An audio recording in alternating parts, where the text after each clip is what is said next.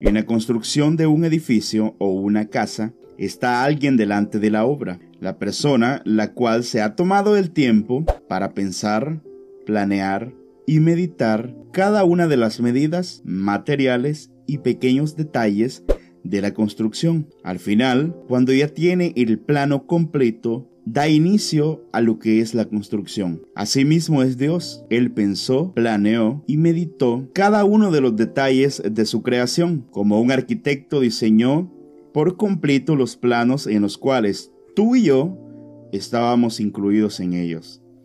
Jeremías 1.5 dice lo siguiente, antes de formarte en el vientre, ya te había elegido. Antes de que nacieras, ya te había apartado. Te había nombrado profeta para las naciones.